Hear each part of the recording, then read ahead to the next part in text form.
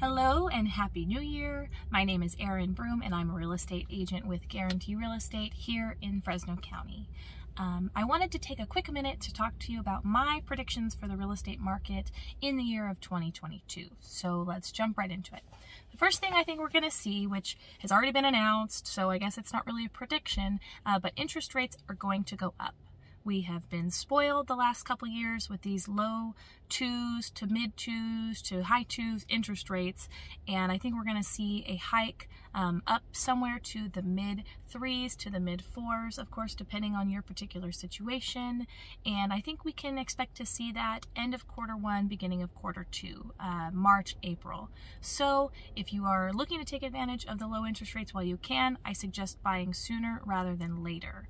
Second thing I think we're going to see is I think we're going to see competition within the market start to relax. Instead of having 10, 15 offers on a property, we might see two or three uh, good qualified offers. I think we are going to see less of these crazy fifty, sixty thousand dollars over asking um, offers this year.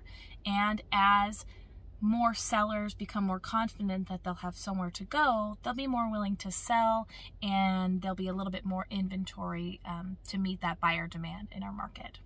Third thing that I think we're going to see this year is going to be a standard appreciation year.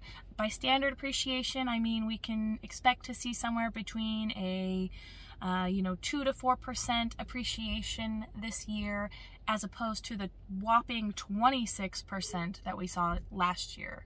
Uh, last year was insane. It's the highest recorded appreciation year in the last 45 years. I don't think we're going to continue to see that.